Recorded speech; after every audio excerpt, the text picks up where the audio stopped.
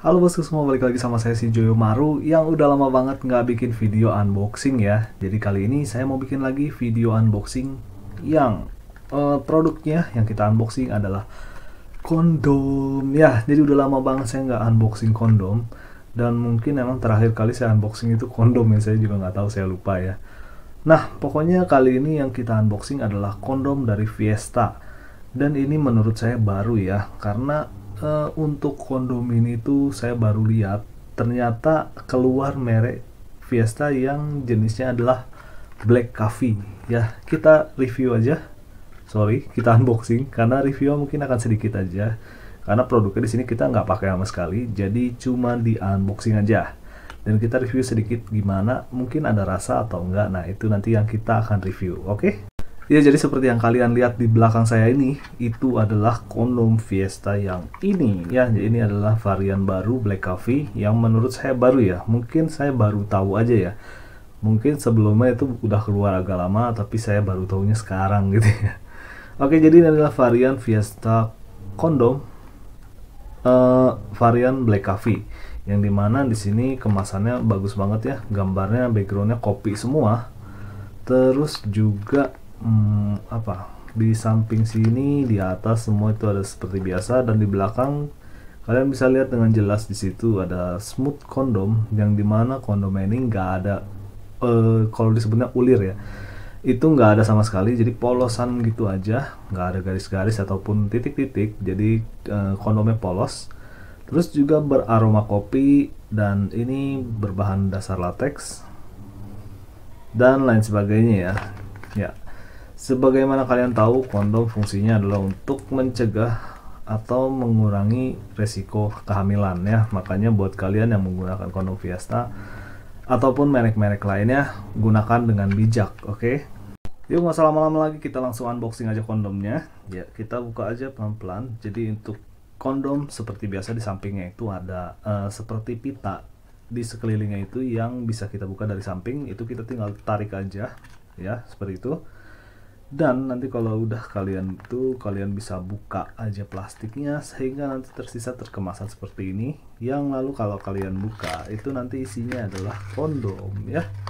Di situ ada kemasannya lagi seperti ini. Mungkin kalian bisa lihat di belakang saya ya. Oke jadi untuk kondomnya sendiri ini sekarang bagus banget ya. Kalau dulu ini cuma satu warna aja jadi uh, misalnya warna biru ya udah itunya biru semua dan di dalamnya tulisan Fiesta-nya itu benar-benar polos aja gitu satu warna.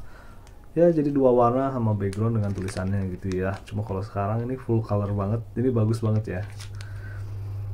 Nah untuk kondomnya sendiri di sini warnanya coklat guys ya. Warnanya coklat dan kalau kita buka ya bukannya kalau buka kondom itu harus pelan-pelan ya. Jangan buka terlalu cepet-cepet jangan terlalu buru-buru. Takutnya ada bagian kemasannya yang nggak sengaja uh, apa ibaratnya nggesek sehingga terjadi robekan pada kondomnya gitu kan.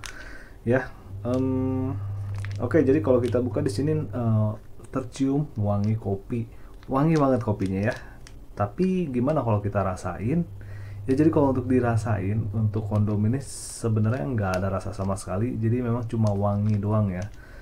Hmm, ya gitu sih. Untuk kondomnya seperti yang kalian lihat ini benar-benar polos. Nggak ada garis-garis sama sekali nggak ada bintik-bintik sama sekali di sepanjang kondomnya.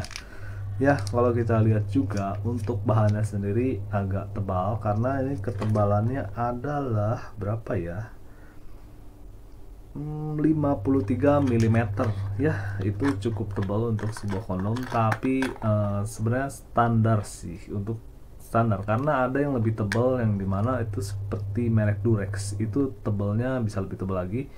57 mm kalau nggak salah. Kalau nggak salah ya kalau kalau salah sebut mohon maaf. Oke guys, jadi gimana menurut kalian kondom Fiesta Black Coffee ini ya? Jadi ini kondomnya wangi dan eh, nggak ada rasa, lalu warnanya juga coklat, jadi kalau kalian yang suka pakai kondom bisa coba kondom ini karena ya lumayan untuk wangi kopinya enak banget.